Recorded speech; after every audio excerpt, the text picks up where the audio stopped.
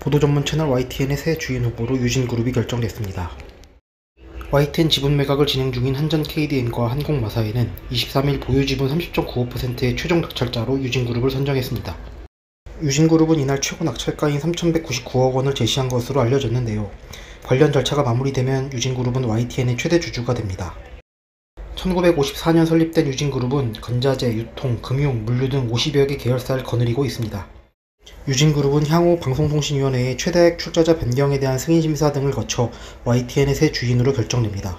한편 업계 안팎에서는 이번 YTN 지분 매각 과정을 두고 사형화에 의한 언론 장악 의도라는 비판이 잇따르고 있어 잡음이 계속 이어질 것으로 보입니다. 뉴스토마토 배덕훈입니다.